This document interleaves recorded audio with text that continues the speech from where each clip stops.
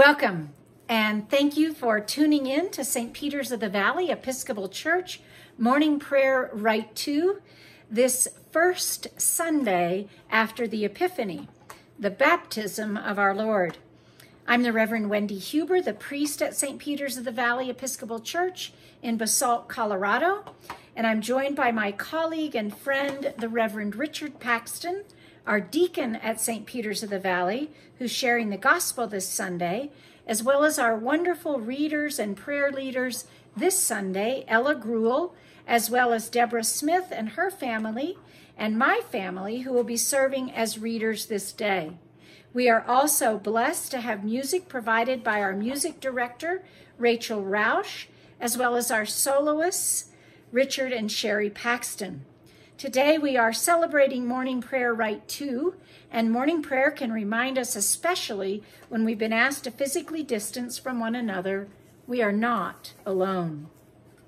Our service begins on page 76 of the Book of Common Prayer, or you can see today's service bulletin sent by email as well as on our website. Feel free to respond and join us during prayers, and let us enjoy just a moment of silence as we prepare to worship and gather our families, including our furry and four-legged ones, to join us this day. Our opening hymn is available in your Pew Bulletin, and feel free to join us from home.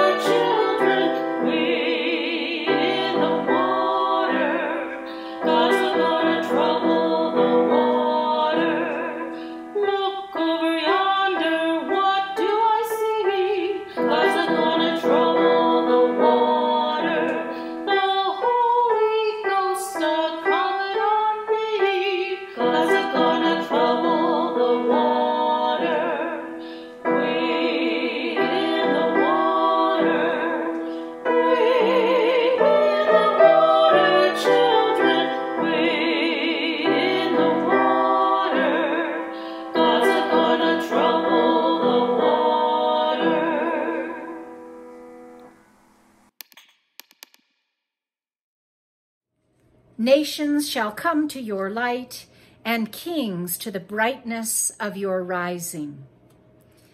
Continuing on page 79, let us confess our sins against God and our neighbor.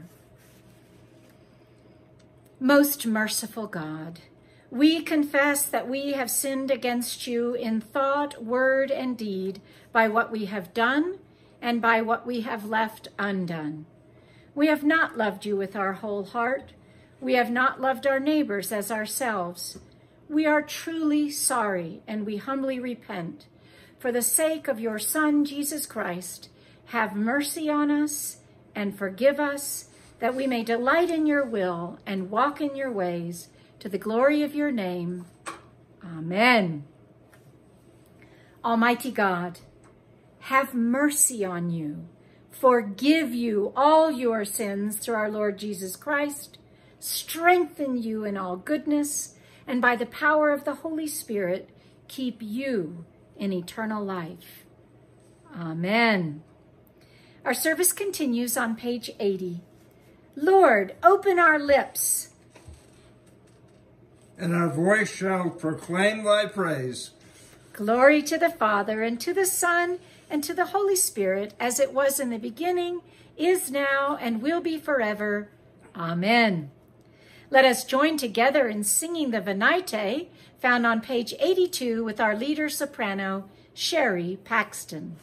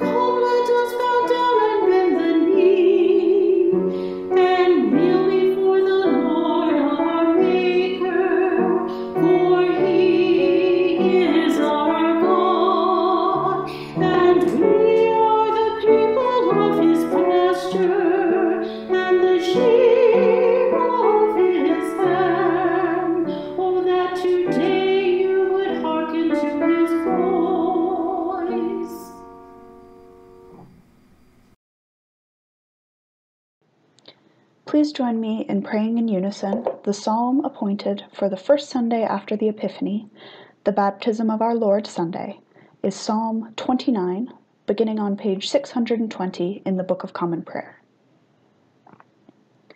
Ascribe to the Lord, you gods.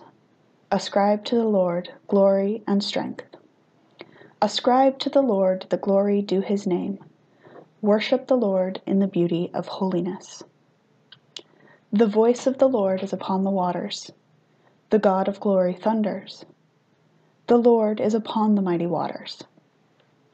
The voice of the Lord is a powerful voice.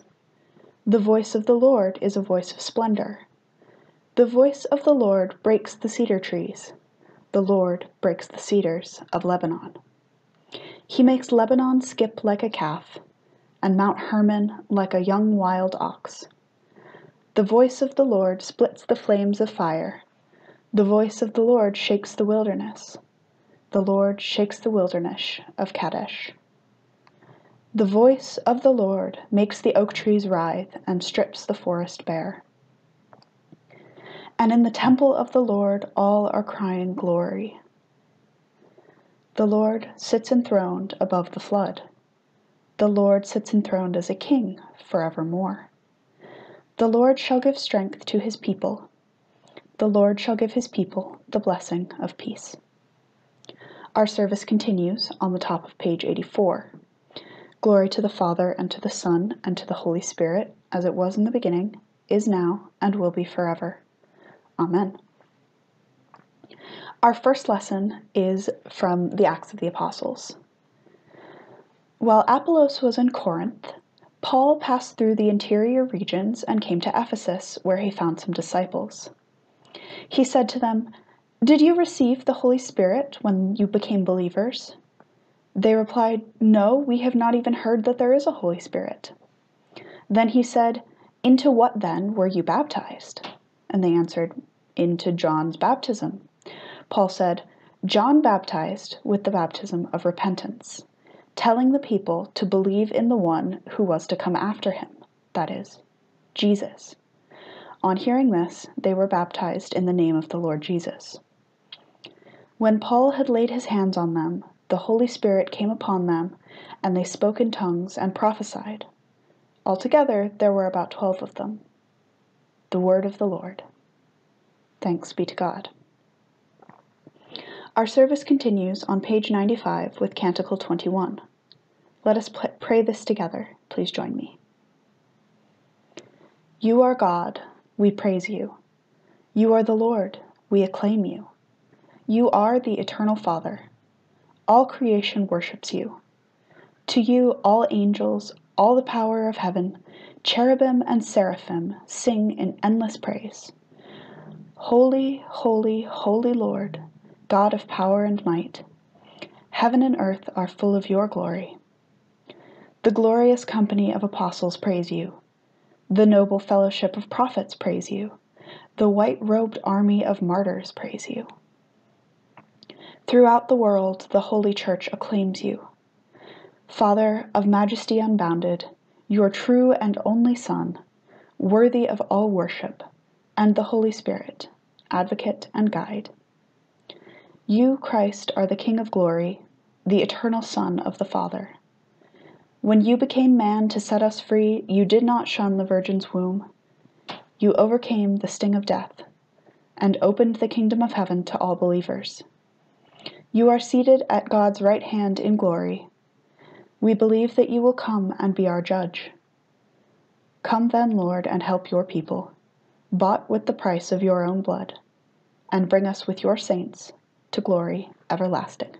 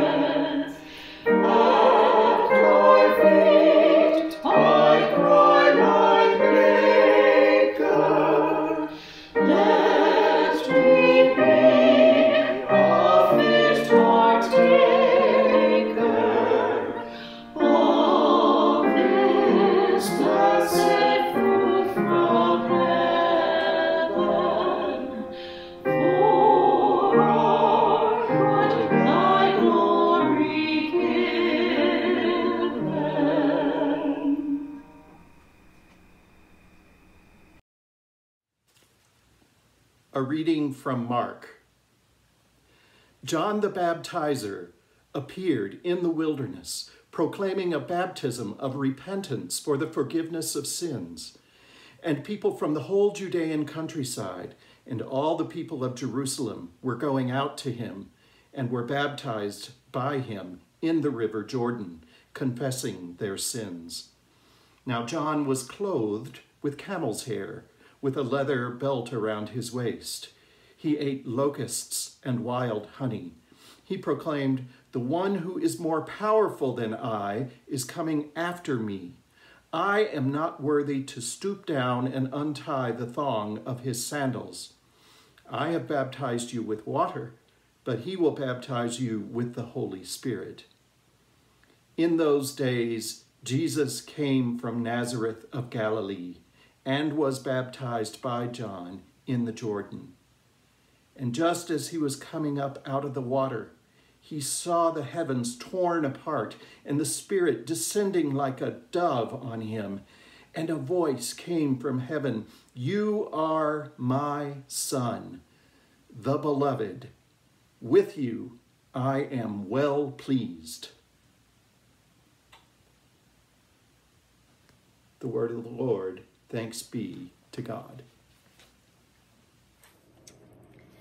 Lord, make quiet our hearts that we may listen to your still small voice, so that in hearing your word we may respond in fervent faith. As Jesus led disciples of old, so lead us, your children today. We ask it in his name. Amen. Mark's Gospel is the only book in the Bible that announces itself as a gospel, the good news about Jesus. A verse we read five weeks ago on the second Sunday of Advent. There is no word in Mark about the birth or youth of Jesus. Mark jumps right in with his good news of Jesus' baptism as the beginning of his ministry.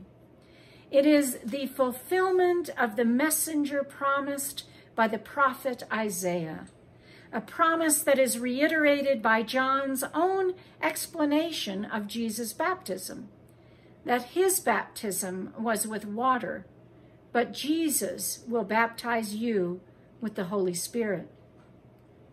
So we must first consider Jesus' baptism and then move on to our own baptism. John's baptism had two components repentance and forgiveness. And as John explains what took place with Jesus, he adds that the baptism is not only with water, but with the Holy Spirit. Those elements are still true of baptism today. The baptismal liturgy marks the end of the old life in those words so familiar. Do you renounce? And it goes. And the beginning of a life lived in God's grace and forgiveness. And then John adds a new component with the gift of the Holy Spirit, which is also part of our baptism service. You have been sealed by the Holy Spirit. Later on, toward the close of his ministry, Jesus himself makes clear that baptism leads to a new way of life.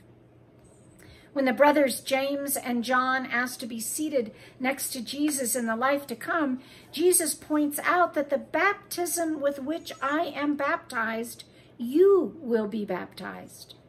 To be baptized in Jesus is to follow him.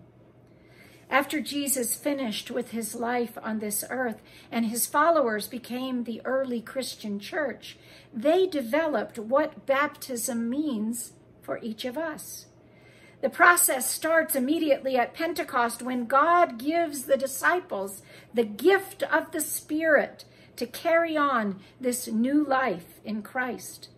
And after his sermon on Pentecost, the listeners ask the Apostle Peter how they should respond, and he answers with these same components of baptism. repent and be baptized, every one of you, in the name of Jesus Christ, so that your sins will be forgiven and you will receive the gift of the Holy Spirit. And as we continue in the New Testament, our understanding of what baptism means for us continues to unfold. It always follows faith the faith of the person being baptized or the faith of the parents. We started our youth confirmation class with six youth from St. Peter's of the Valley coming together by Zoom to consider their own faith. And in our tradition, parents and godparents speak on behalf of a baby or child during baptism, and then as young adults or teens, they confirm what was said on their behalf in their own voices. This means that they are making their affirmation of faith and recognizing that they are sealed as God's own. Following what Jesus said in Mark 10, in baptism we die, as Jesus did, but we are also raised to new life, as Jesus was. This great promise has sustained Christians throughout the centuries. As Dietrich Bonhoeffer was led to his death, he said to one of the prison guards, For some, this is the end, but for me, this is the beginning. One hymn writer, John Ylvisaker's hymn states, You cannot kill me, I've already died. We die in baptism, but we rise up to new life in Christ. Furthermore, baptism is more than an individual act. In baptism, we become part of a people. The Apostle Paul emphasizes how we were all baptized into one body. And the main thrust of today's text and the meaning of Jesus' baptism for us is that we are baptized into something. A fundamental change takes place in baptism at whatever age. An adult who is baptized after accepting faith is changed, and an infant baptized into a family of faith will be brought up into that faith. Someone once argued that he didn't need to be baptized because he was now saved through faith. Baptism, he said, isn't just a rite, it doesn't save us. It was true, I said. But I also said that to have faith is to follow Jesus, and Jesus tells us to be baptized, just as he was baptized. He told his nighttime visitor Nicodemus that unless one is born of water and the Spirit, one cannot enter the kingdom of God. And in baptism, we become part of Christ's body. Paul writes that for one Spirit we were all baptized into one body, and that as many of you as were baptized into Christ have put on Christ. Put on Christ. And in his last conversation with his disciples, Jesus spoke again about baptism. He told them, Go therefore and make disciples of all nations, baptizing them in the name of the Father and of the Son and of the Holy Spirit, and teaching them to obey everything that I have commanded you. A person who had been baptized as a small infant once said to me, as far as I'm concerned, nothing happened. She did not have a memory of it, but of course we know something dramatic happened, and her subsequent life as a Christian was proof of it. We often speak of baptism as a means of grace. That is one of the ways that God's grace comes to us. Physically, we know it's that small splash of water, but it marks the beginning of a whole new life, a life of forgiveness, a life of the presence of God's Spirit, a life of our union with Jesus, and a life with our becoming part of the worldwide Christian church. The action takes place on the edges of society, in the wilderness, as we see with Jesus' baptism, not in the safety of a sacred space. And the act itself challenges us to ask where we are as a church doing the work of baptism. Where are we doing the work of heralding a new structure and a new way to the world? Are we locked away where only a few can hear? Or are we out in the world, on the edges, inviting and encouraging people to see that there is a different way and a new and special way to be revealed, a way of being in the kingdom of God. So this week, this special week, let's consider inviting and encouraging others to a life of faith, a life in which we love deeply and in which we care deeply for one another. A life in which we forgive and come together as a people of faith. In Jesus' name we pray. Amen.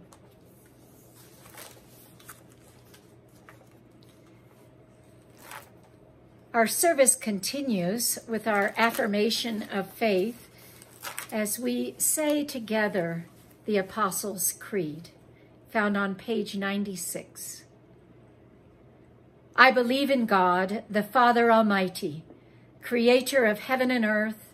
I believe in Jesus Christ, his only Son, our Lord. He was conceived by the power of the Holy Spirit and born of the Virgin Mary.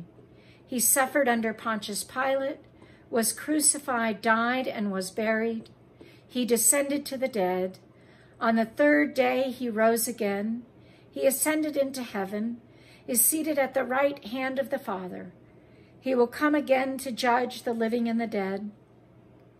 I believe in the Holy Spirit, the Holy Catholic Church, the communion of saints, the forgiveness of sins, the resurrection of the body, and the life everlasting. Amen. Our service continues with the prayers on page 97 in the Book of Common Prayer. The Lord be with you, and also with you. Let us pray. Our Father, who art in heaven, hallowed be thy name. Thy kingdom come, thy will be done, on earth as it is in heaven. Give us this day our daily bread and forgive us our trespasses, as we forgive those who trespass against us. And lead us not into temptation, but deliver us from evil.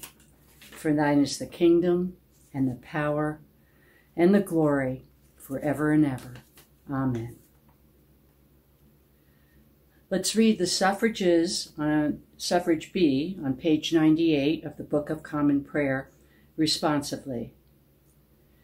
Save your people, Lord, and bless your inheritance. Govern and uphold them now and always. Day by day we bless you. We praise your name forever. Lord, keep us from all sin today. Have mercy upon us, Lord. Have mercy. Lord, show us your love and mercy, for we put our trust in you. In you, Lord, is our hope, and we shall never hope in vain. For our collects today, most are found on page 98 and 99 in the Book of Common Prayer. Our collect for the day.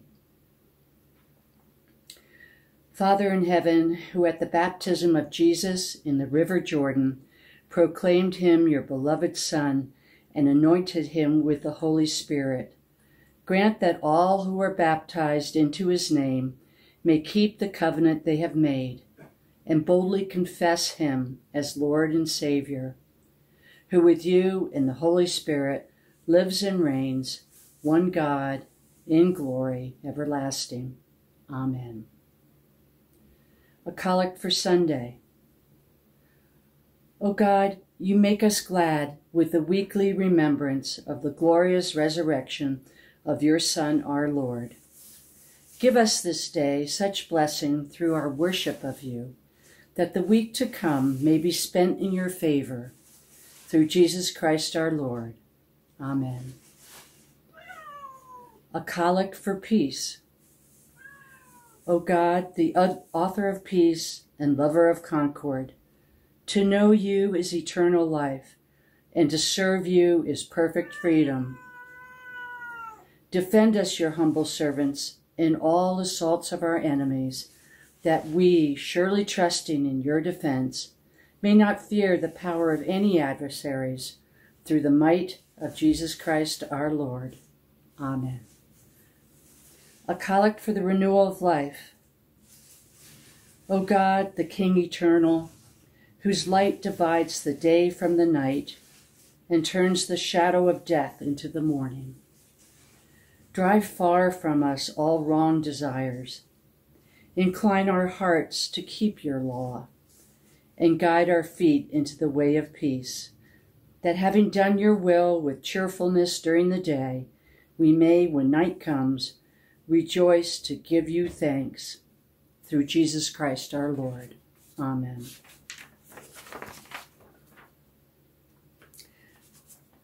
A collect for mission. Lord Jesus Christ, you stretched out your arms of love on the hard wooden wood of the cross that everyone might come within the reach of your saving embrace. So clothe us in your spirit that we, reaching forth our hands in love, may bring those who do not know you to the knowledge and love of you, for the honor of your name. Amen. A prayer in the time of pandemic. May we who are merely inconvenienced remember those whose lives are at stake. May we who have no risk factors Remember those most vulnerable. May we who have the luxury of working from home remember those who must choose between preserving their health or making their rent. May we who have the flexibility to care for our children when their schools close remember those who have no options. May we who have to cancel our trips remember those who have no safe place to go. May we, who are losing our margin money in the tumult of the economic market, remember those who have no margin at all. May we, who settle in for a quarantine at home, remember those who have no home. As fear grips our country, let us choose love. During this time when we cannot physically wrap our arms around each other, let us find ways to be the loving embrace of God to our neighbors. Amen.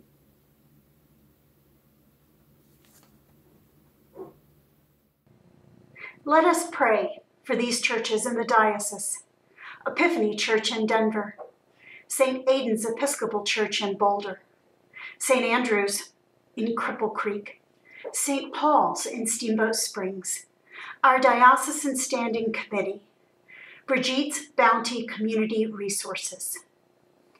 Let us pray for those serving in harm's way Grant, Mike, Sean, Rolly, Frank, and all those working as first responders, healthcare providers, and as law enforcement and military personnel.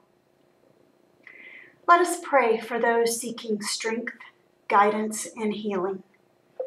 Carol and Dave, Christine, Lauren, Bailey, Bob and Marcia, Helena, Reverend Mark, Dick, Bill, Carolyn, Ashley, the Brockman family, Susan and David, Janet, Julie, Toby and Molly, Linda, Christopher and Diana, Ryan, the Farrow family, Gabrielle, Julie and Reverend Peter, Heather, the Tiller family, and for those who have lost their jobs and anyone else impacted by COVID 19. Let us pray for those who have died Fran, Domick, Eugene Cavella, Robbie, Louise Wheezy Burton. This Sunday, we continue with our additional segment in our prayers, our birthday blessings. We have birthday records for many of you and a few anniversary records.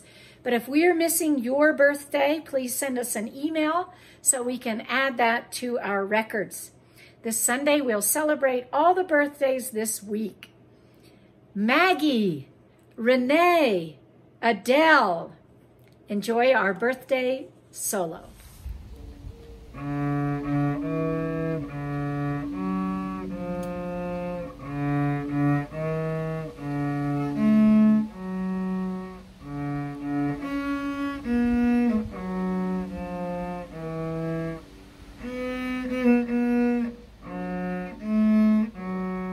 birthday blessing.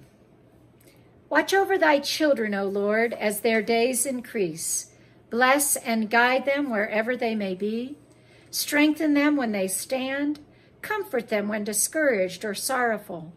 Raise them up if they fall, and in their hearts may thy peace, which passeth understanding, abide all the days of their lives. Through Jesus Christ our Lord.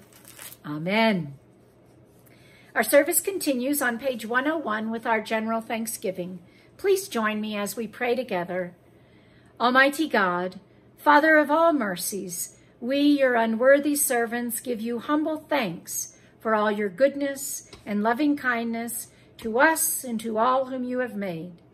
We bless you for our creation, preservation, and all the blessings of this life, but above all for your immeasurable love in the redemption of the world by our Lord Jesus Christ, for the means of grace and for the hope of glory.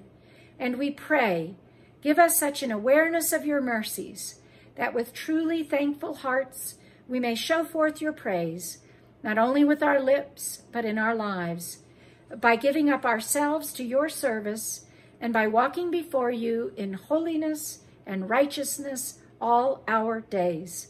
Through Jesus Christ our Lord, to whom with you and the Holy Spirit be honor and glory throughout all ages. Amen. Continuing on page 102. Almighty God, you've given us grace at this time with one accord to make our common supplication to you. And you have promised through your well beloved Son that when two or three are gathered together in his name, you will be in the midst of them.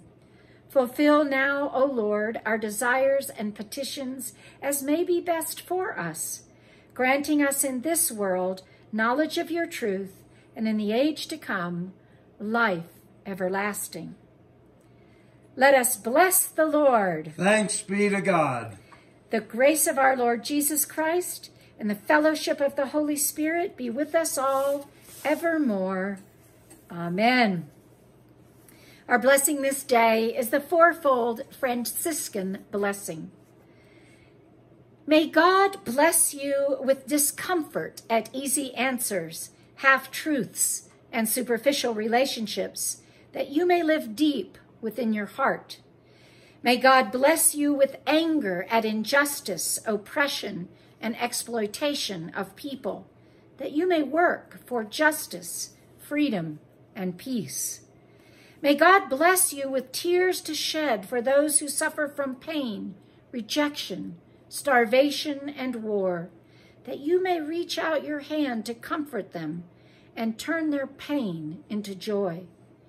May God bless you with enough foolishness to believe that you can make a difference in this world, that you can do what others claim cannot be done. And the blessing of God Almighty, the Father, the Son, and the Holy Spirit be among you and remain with you always. Amen. A few announcements for the good of the order this week. If you need pastoral care or you just want to talk, please contact me. We can Zoom, we can write letters, we can talk on the phone, and we can make arrangements for safe meetings with sometimes one on one side of a door and one on the other. Uh, we love to hear from you, so let us hear from you. We have suspended our abbreviated Eucharist until further notice, as many of you in the local area received consecrated element around Christmas. Uh, we will try to do that in the coming weeks again. It's just not quite safe. We do hold noonday prayer or Compline by Zoom, except on Saturday and Sunday. So join us and you can see all manner of your friends. Many of your seasonal friends are joining us. Thank you again and again to all those who make today's service possible in these days of Episcopal televangelists. The Reverend Richard Paxton, Rachel Rausch, our music director, Jackie Amthor, our communications director, who makes our beautiful bulletin and newsletter, Cheri and Richard Paxton, our soloists, Robert Huber, who creates our video, Ella Gruel and Deborah Smith and her family, and Phoebe Gruel, who all serve as lay leaders and readers for our service. Help us to keep our parish prayer list updated and provide your prayer requests to our church office. And we're also exploring safe ways to gather in small groups. So help us. Don't forget, our annual meeting is coming up. And if you don't make the annual meeting, that means we get to appoint you to whatever committees we wish. And we also would love to see your faces and we need your vote as we elect a new vestry and we ratify the budget that has been approved. Blessings to you all. Remember your pledges and support of St. Peter's of the Valley. Have a wonderful week.